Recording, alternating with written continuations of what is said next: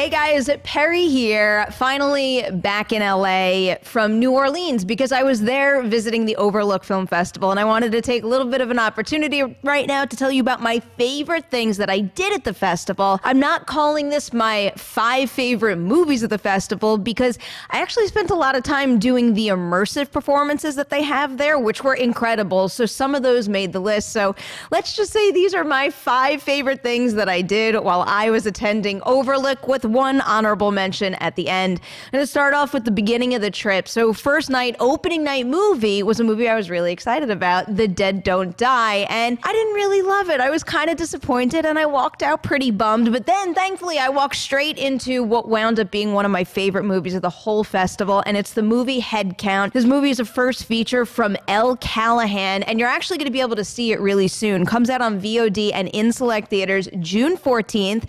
This one has a little bit of a creepy pasta vibe. And in case you don't know what that is, creepy pasta is what Slenderman is.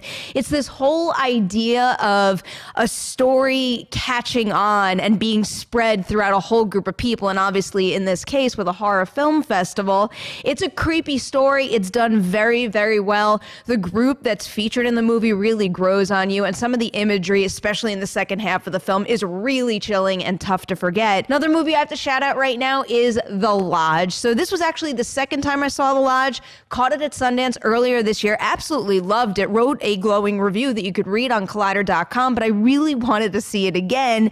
It stars Riley Keough. She's a stepmom to two kids, and her soon-to-be husband drives them all out to their remote cabin, and they wind up in a situation where she's stuck staying alone in that cabin with those two kids crazy things happen. She is phenomenal in the movie, but one of the big reasons I wanted to see that movie two times is because the way things pan out, it winds up being a very different experience when you know where it ends and you experience everything that leads up to that ending. And it didn't disappoint in that respect. I really, really dig this movie, and I believe you're going to be able to see this one sometime later this year, maybe in the fall. The next movie I want to tell you about right now is called porno. And I got to give you a little bit of a disclaimer on this because some of the folks behind the movie, I went to film school with them. They are friends. They are also super talented because I finally caught their movie and I think it's great. They really swing for the fences in certain respects. And there is one scene in that movie where I really just couldn't believe how far they pushed it, but they did it pretty well. This one is about a group of movie theater employees who find this creepy old reel that happens to be like a satanic demonic like pornography and they play it and then crazy things start to happen. This one is just something else. And it reminded me a lot of, I'm sure some of you know how much I love Are You Afraid of the Dark? And one of my favorite episodes of that show is the one that's based on Nosferatu. And it had that kind of vibe,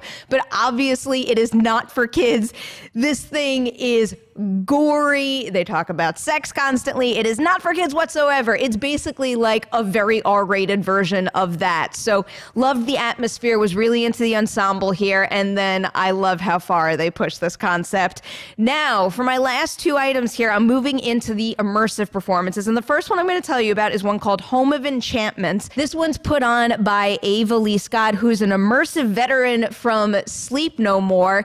And it was a pretty extensive story. So, the cool thing about all the immersive programming at Overlook is most of them are one on one, if not two on one storytelling. So you're experiencing this all on your own. And with this one in particular, you go to the hotel and she's playing the part of Belle. She's got some sort of uh, spiritual, supernatural abilities, and you, as the viewer, interacting with her, trying to help her through some issues that she's having. So you meet with her, she tells you a story, then she brings you into another room where the production design is just through the roof. But her performance is something else, and the whole thing is interactive. She is leading you through this entire thing. And this one in particular, it wasn't as scary as it was really emotional. It's almost like the whole world around you just melts away. And she built a really troubling story for Belle, and you get really, really invested as you're kind of called upon to help her out through every single step of the process here. So I was so impressed by that. I think my favorite thing of the Overlook Film Festival 2019, though, might be a different immersive uh, Uh, program called Room Service. So this one was done by JFI Productions, and this one I actually did with another friend. So it was just two of us in it. And what you do is you check in, and then they bring you to a hotel room where you are basically meant to take off your shoes and then get in bed. And then the performers come in and they tuck you into bed and they read you a bedtime story where one of the performers actually climbs into bed with you and cracks open a book that reminded me a lot of the Babadook book, but it has its own spin to it with a character called Mr. Black. And it just really sucks you in. And then eventually it's almost like the storybook comes to life. And I was just really into the design of Mr. Black. You can actually buy that storybook, and I kind of want to get it. But that one, that particular story and that kind of fear was very much my speed. So that was the one that I kind of couldn't shake off the entire time. I really dug that. I just want to give one honorable mention to Clay McLeod Chapman, who does the Pumpkin Pie Show. So, whereas the other two immersive shows that I just talked about, they are built in hotel rooms and have a whole ton of production design.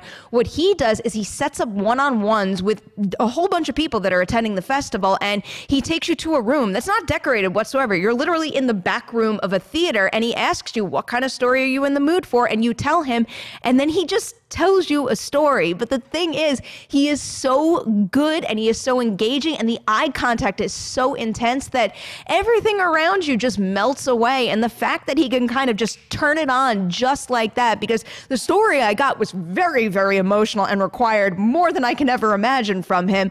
I was just so impressed. And I really do recommend if you ever get the opportunity to have one of these one on one types of storytelling experiences, do it because you really can't get anything like that anywhere else. And then you walk away and you feel like it was your experience and yours alone. And there's really something special to that. There's also something special about this whole festival. I really had a blast exploring the immersive program, also the movies as well, and then exploring New Orleans, which is just an incredible city that I almost didn't crawl my way out of. But I had a blast from start to finish. I am exhausted, and it was worth every single second I was in that town, going out and about, doing a million different things. So, a huge thank you to the team at Overlook for having me this year. I had a blast. If you're into the horror genre, if you want to attend a festival, really, this is a special one. The community there is super strong, and it was really, really great this year getting to experience all that stuff with such a wonderful group of people. So, I highly recommend checking it out next year. Guys, thank you so much for watching this video. As always, like and share, and I'll see you soon with more horror coverage.